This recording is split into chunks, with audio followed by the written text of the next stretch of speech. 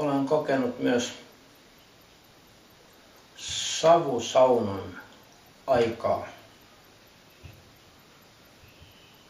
Siellä saunan puhtailla lauteilla koin kerran maautuuden ja veden pihistessä kiville sain kasvoille kuumuuden.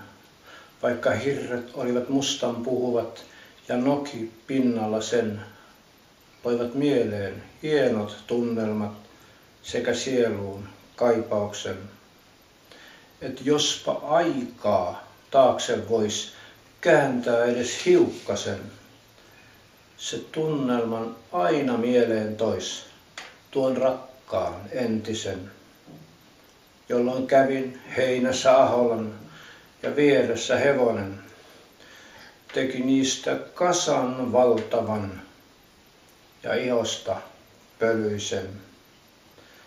Savusaunan isäntä lämmitti sinne puiden keskelle ja vieressä vesi välkehti kuin kutsuna iholle, et saunan makeista löylyistä voi pulahtaa lähteeseen ja heittää hyvästit pölyistä ja kuivata pyyhkeeseen.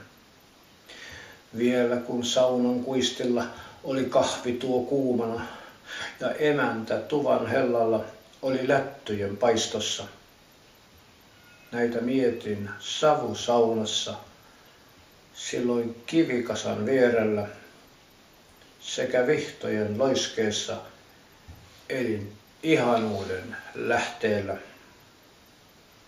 Hiljaa keskelle pyhyyttä minä siirryin kuuntelemaan, kun linnut lauloivat kaipuusta siihen tuoksuun ihanaan, joka lähti saunasta savuisen ilmaan hienon raikkaaseen sekä pollesta hirnahduksen, saaden variksen kirmaukseen.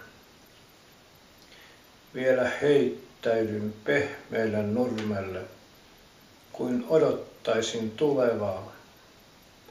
Annoin aikaa savulle, josta heinät myös voiman saa. Savu on saunojen pyhyyttä. Sen kaikki voisi ymmärtää. Luo puhtauteen syvyyttä,